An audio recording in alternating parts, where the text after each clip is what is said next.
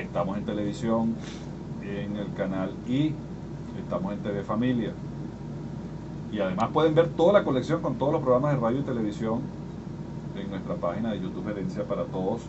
Y también seguirnos en nuestro, recuerden, nuestro, nuestro Instagram y Twitter, arroba Herencia para Todos, tiene muchísima información de primera mano, por eso está en los idiomas originales. Creo que es importante cultivar el tema de la globalización en el buen sentido y de la información global.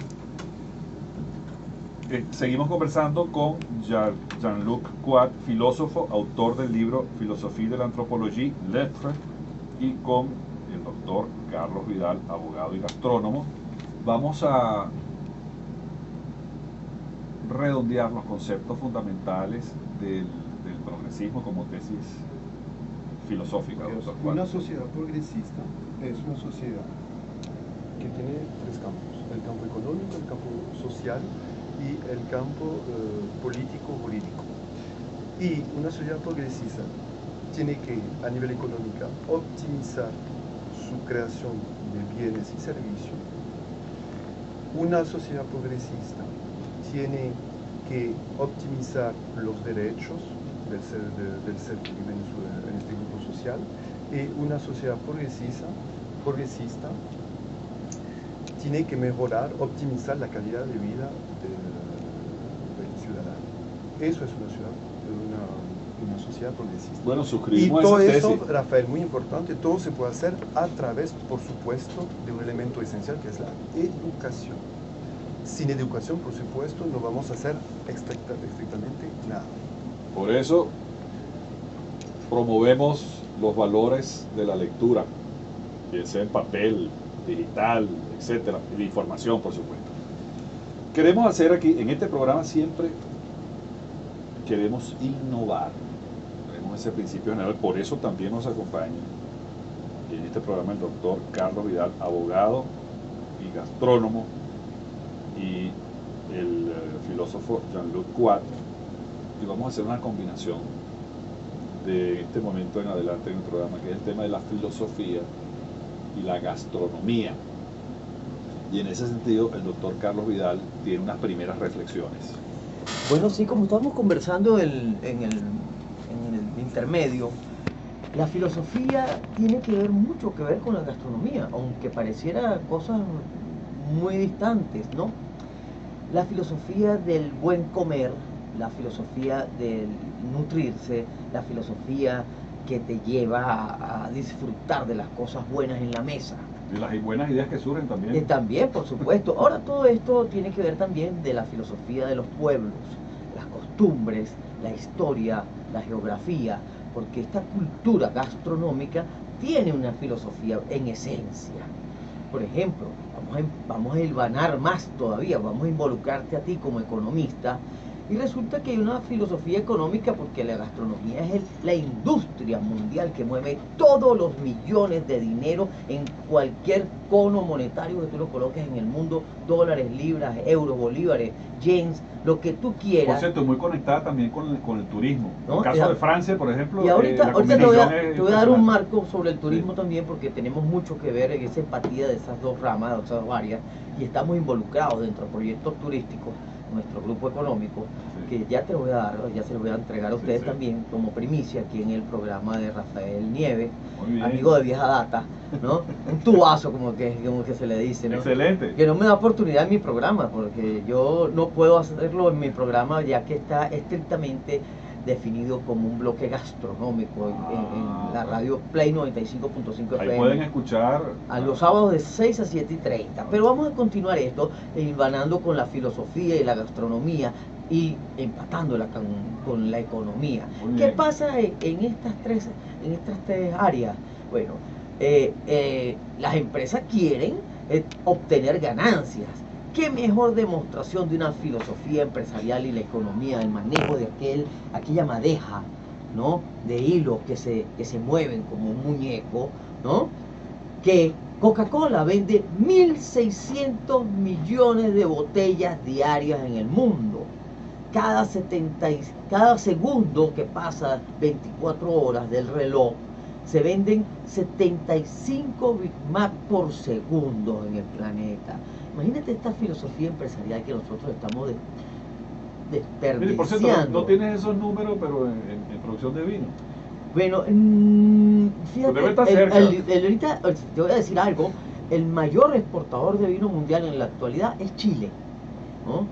Pero Chile se ha dedicado a hacer eh, de su marca país, ¿no? Eh, el país del vino, ¿no? Tienen alrededor de casi 200 etiquetas de vino premium. Acuérdate que ya no es el vino patero y el clarete, Sí. como se le dice aquí, el vino artesanal que se realizaba desde la que descubrieron que se podía hacer en, en acero inoxidable, ya el vino patero y el vino clarete quedó para familias con fincas muy pequeñas en realidad.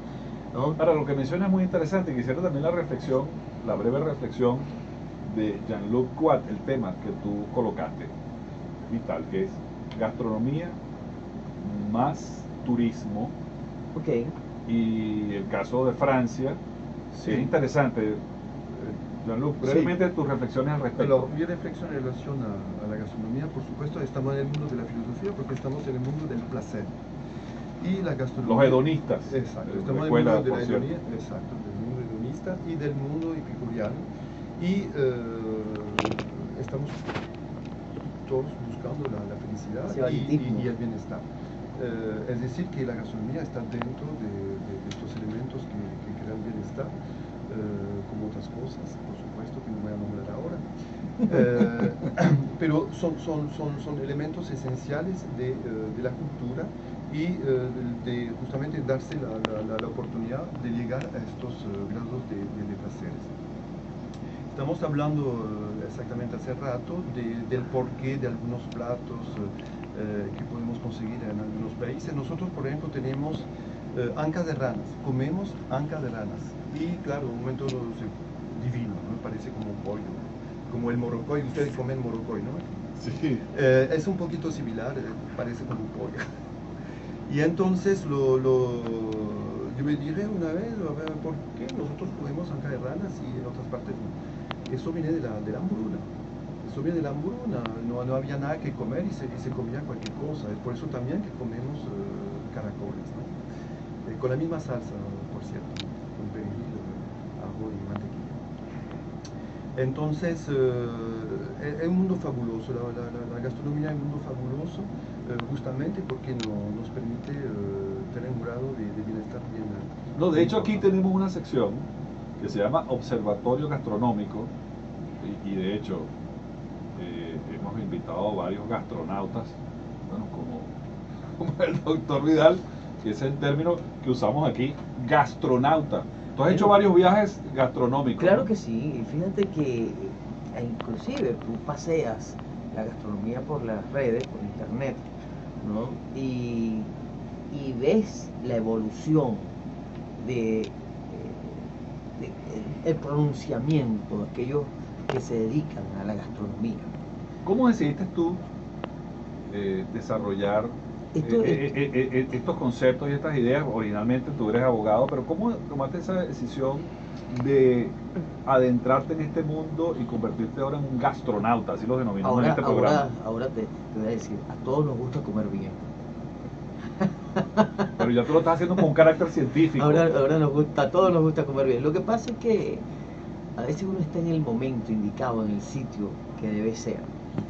Esto empezó, esta aventura gastronómica comenzó en el año 1980 por cuestiones de la vida, ¿no? de estas carambolas. Siempre me gustó la- trastear en la cocina, pero nunca lo había, lo había visto como, como una filosofía de vida. Sí, ¿no? sino como un qué hacer, sencillamente un me gusta, un like, como dicen ahora, ¿no? Ajá. En las redes.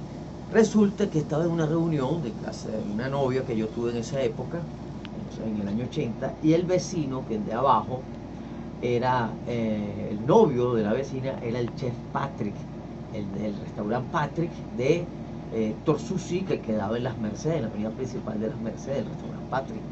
Y me dice que si yo quería hacer un curso de cocina, de trotería, trotería es aquel que hace terrine, foie paté, ¿no? Y me llevó a casa del profesor Robert Robots, nada menos, en el en el gaseo. Nada menos me llevó allá. Y entonces hice mi curso, que no había escuelas de cocina en Venezuela. No, estabas en el, en el, en el Elicio. Exactamente, de- no había, no había eh, escuelas de cocina y ahí empecé yo a manejar como es debido, cubiertos, cuchillo, eh, madera y ese tipo de implementos para empezar a hacer esta aventura gastronómica. Entonces, esto es una cultivación que viene de, de- de- de- te estoy hablando 40 años de trabajo, ¿no? Y entonces después he hecho cursos de chacinería, barista, eh, bartender, panadería básica, corte sashimi, eh, y bueno, otras cositas por ahí que van acompañándote, eh, que van acompañándote. Yo te puedo acompañar, pero no, no, no como gourmet, sino como gourmand. Ahora, ahora lo que lo que sí te puedo decir es, si yo no aprendo el lenguaje de los cocineros, de los ibaritas, de los gastrónomos, de los que escriben, no puedo hablar con ellos. Y pero, por tú eso tienes, pero tú tienes la ventaja porque tú además eh, tienes el oficio. Ah, por supuesto, y por eso es que hablo con ellos. Y he obtenido unas entrevistas enormes con gente que, que en mi vida me imaginé que me podían abrir la puerta, hablar yo con Virgilio Martínez, con Antonia Duriz, con Carmen Ruscalleda, con Paco Roncero, con Quique de la Costa. Son personalidades, de la- con el, el maestro Arzac, personalidades de la gastronomía mundial que caramba, a cualquiera le ponen Oye, los pelos de punta, ¿no? Interesante. Ya vamos a seguir conversando con el doctor Carlos Vidal y con el filósofo Jean-Luc Quat luego de la siguiente pausa. No se vayan, sigan con nosotros aquí en tecnoradio.com.